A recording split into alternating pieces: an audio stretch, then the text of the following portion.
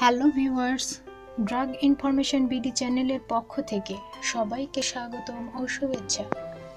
আশা করি সবাই ভালো আছেন। বরাবর মতো আজ আমি আবার হাজির হয়েছি নতুন একটি ট্রাফিক নিয়ে আলোচনার জন্য। আর আজকের টপিকটির নাম হচ্ছে সেক্রম তো ভিউয়ার্স, এই বিষয়ে কথা বলার আগে আপনাদের কাছে ছোট্ট একটি অনুরোধ। যারা এখনও আমার এই চ্যানেলে সাবস্ক্রাইব করেনি প্লিজ প্লিজ চ্যানেলটা সাবস্ক্রাইব করুন। পাশে থাকা বেল আইকনটি ক্লিক করুন। নতুন নতুন সব ভিডিও পেতে আমাদের সাথে থাকুন। তো ভিউয়ার্স চলে যায় মূল আলোচনায়। সেক্রিন যা গ্লিমোপিরাইট ইপি সেক্রিনের উপাদান।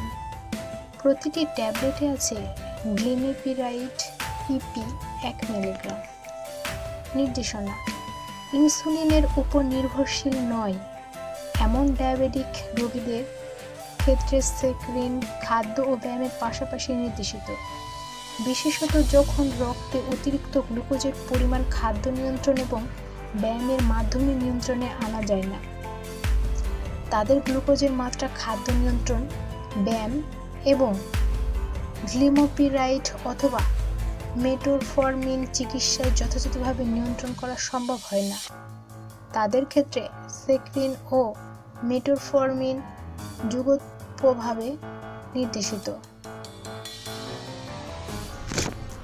যে সমস্ত রোগীর অতিরিক্ত গ্লুকোজের পরিমাণ খাদ্য ও ব্যায়ামের মাধ্যমে নিয়ন্ত্রিত আনা যায় না, সে সকল রোগীর ক্ষেত্রেও ইনসুলিনের সাথে অথবা অন্য কোনো মুখে সেবনযোগ্য ডায়াবেটিক্স এর ওষুধের সাথে একত্রে সেক্রিন দেওয়া যাবে।